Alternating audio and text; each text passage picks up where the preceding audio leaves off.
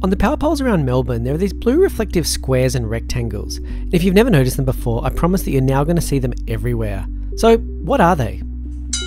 In the case of emergency, time is absolutely essential, and it's why police cars and ambulances have sirens and can speed through red lights. And these blue squares are designed to help in an emergency. First, you'll notice that these symbols come in a set. There are squares accompanied by blue rectangles and even these blue reflectors on the road. And their role? To help the fire brigade to quickly identify street fire hydrants.